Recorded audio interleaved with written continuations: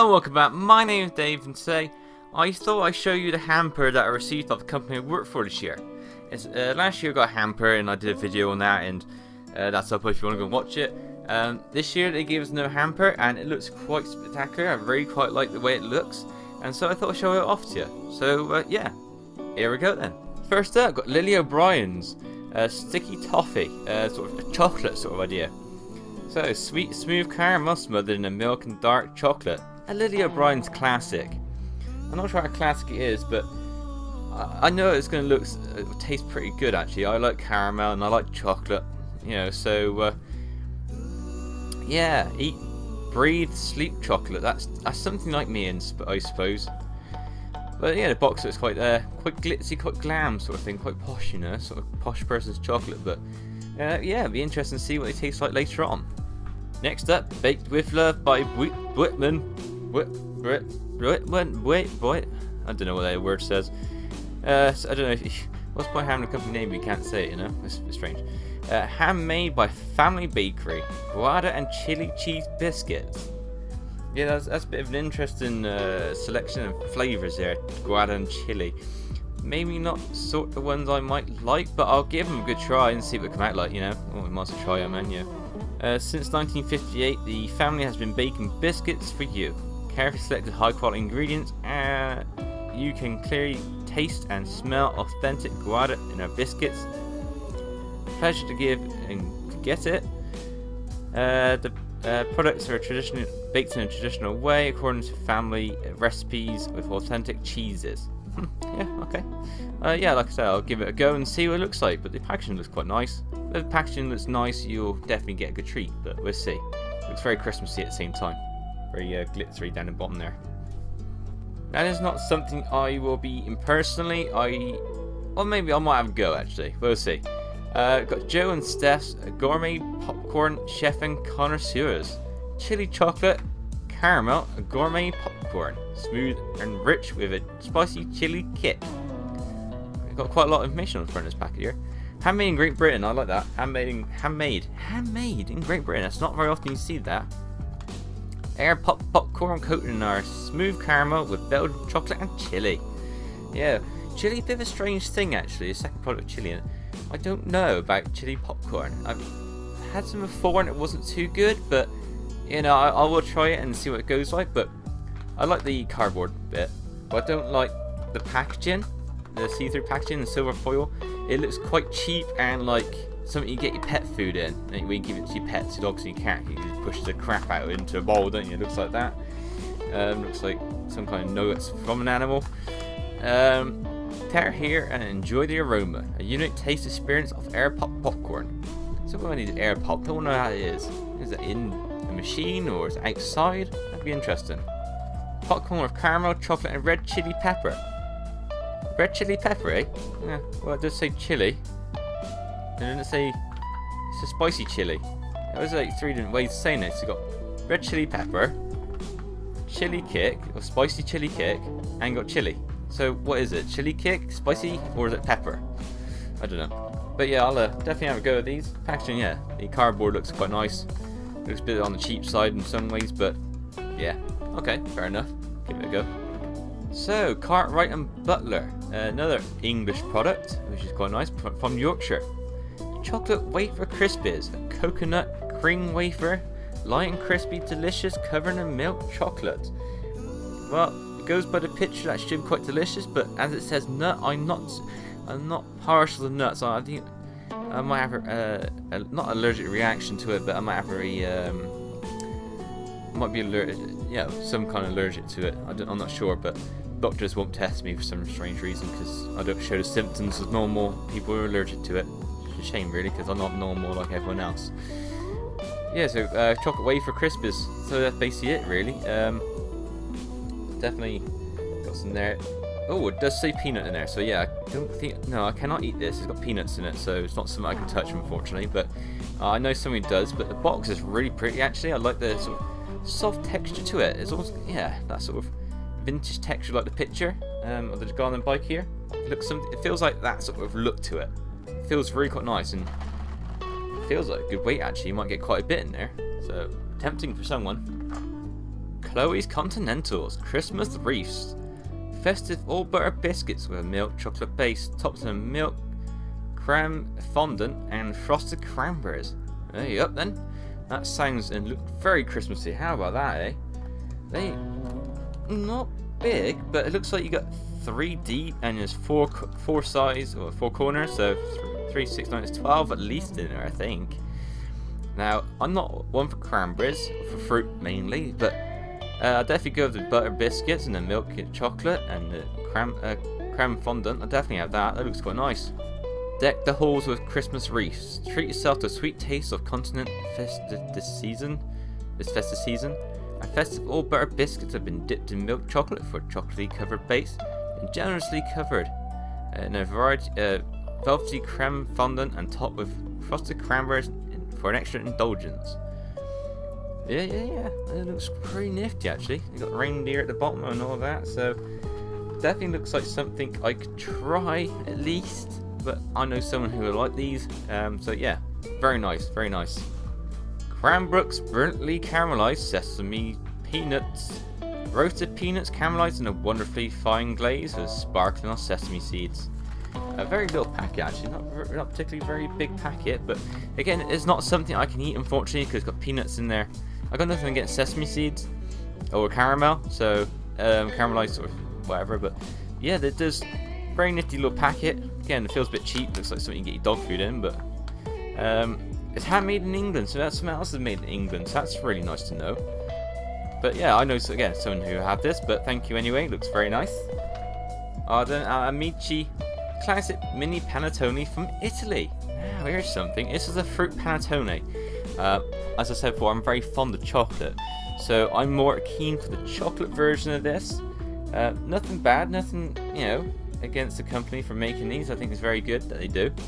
But yeah, I personally like the chocolate one, but this looks quite nifty actually, very very Christmassy or very festive, sort of with the lights sort of blurred sort of thing. I like that very much. Bring Italy to your table. There are many things that spring to mind when you think of Italy. Tradition, love, family, and of course, passion for food. Yeah, I think Italy is a very passionate place for food. My partner and her parents went to Italy a year or two ago, and uh, you know, it's time recording, and they absolutely loved it. They said the food was fantastic and a very, very nice place. Italian classic mini panettone. Uh, made with butter, baked to a traditional recipe using mother dough that has been lovely nature for generations. Del deliciously served with a glass of Prosecco, nice for sharing, but even nicer to keep yourself. I don't know about keeping yourself, but I imagine this is a two-person panettone in here, you know? Uh, if not, you can cut in four, get some small slices, share with your family, some very nice, very nice indeed. Yeah, interesting. Jacques, France. Uh, traditional heart truffles. A classique, apparently. Uh, something from France here, the way it looks, and I have to admit, um, I have um, indulged slightly on these. They're very tasty. They're like, yeah, very like um, powdery, small truffles. And the box looks fantastic. And the bag looks amazing. And yeah, they're basically little heart truffles. Let's see if we can get them. There we go. Very powdery, you can tell by my fingers already, but they're very delicious. Mmm. Yeah, when you eat them, very cocoa-y can get a very powdery sort of effect. Makes it slightly difficult to eat. I mean, because the chocolate's quite a mass as well, quite thick truffle. But that's very delicious though. The box is very fancy, isn't it? That is very fancy box. I like the red ribbon, simple design, the gold that shines off. That is really nice. So yeah, the bag again, nice gold bag. Very fancy, very fancy. Straight I got, I got to give these a 7 out of 10, I reckon. 7 out of 10 for deliciousness.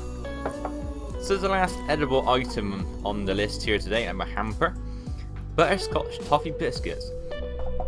Now this is a fantastic looking tin. I like this very much, very Christmassy, very useful. I suppose if you don't have if you have a lot of tea, I suppose like drink tea or coffee maybe, you can put the granules in here and the bags in here. Or you can use it for your, your shed sort of thing or garage. Store some items in here. Now, this is a, quite a big, quite big tin. So judging by my hand, that's quite a wide tin, you say, okay? So how much do you think you got in here for size of item? Judging by the sound of the packaging there, uh, it don't seem a lot and it's not. You basically get about half tin size worth of biscuits in here. Which is quite, quite a shame really. But uh, they look quite tasty actually. They're, uh, what's it say on the box here, tin? Here we go. So, sweet biscuits with butterscotch pieces. Uh, made in England. Oh, another England product in here. Okay.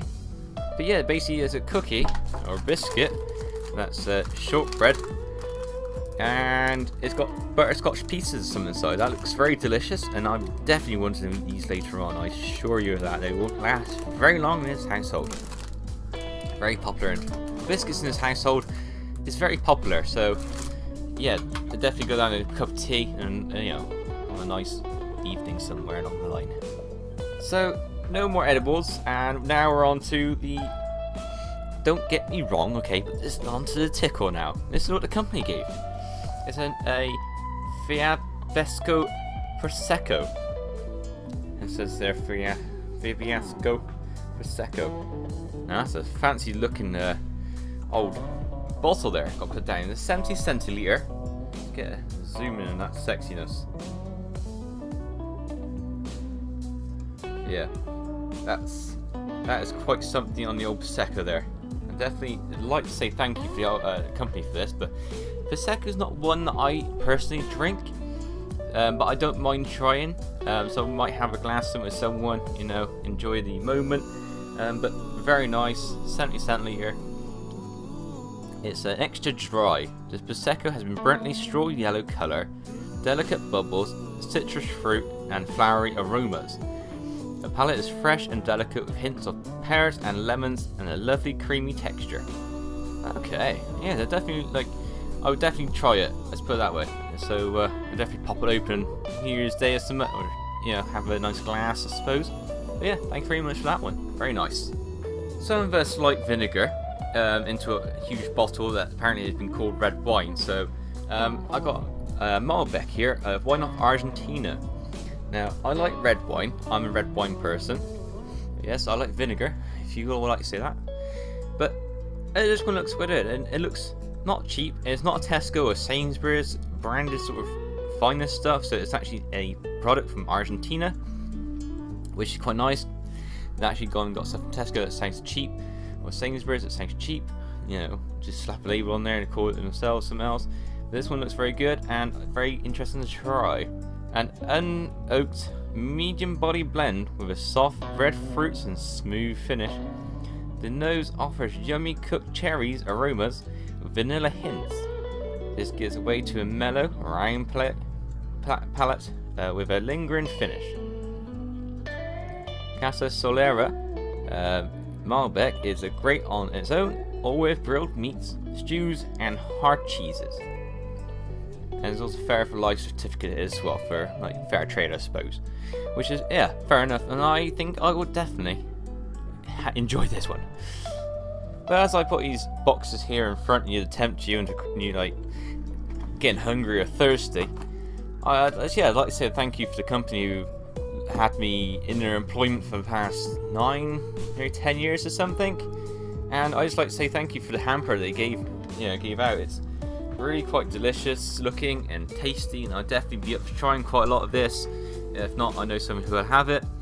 And yeah, I'd just like to say thank you all for uh, sticking around on my channel and enjoying my videos and chatting to me and just being part of the strange adventure I'm doing on just reviewing films and talking about them and sharing them off to you and yeah I was like yeah thank you very much. And I just wish you a happy merry holiday Christmas New Year and yeah enjoy yourselves with family and friends just what the time's about and yeah I think that's I think that's it really I'm just gonna enjoy myself now with my family and friends and uh, yeah I'll see you sometime next year in January maybe February we'll see Depends how much alcohol I've had, how much food I got to wear off first. So yeah, thank you very much for watching, and I'll see you next year for another one. Bye bye.